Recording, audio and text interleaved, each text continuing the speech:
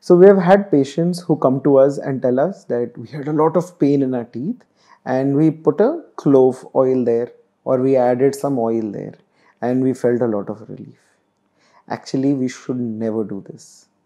Clove oil, it does help. It's an obtundant effect, which means it reduces the uh, exposed nerve sensations and it does give a soothing feeling. But as laymen, we do not know what is the extent of that particular cavity. If that cavity has opened into the nerve canal, and then on top of that we apply clove oil, it will act as an irritant and it will cause a swelling and tremendous pain. It would become a dental emergency and you would have to visit a dentist. It may be even in the middle of the night. So avoid these clove oils. Thank you.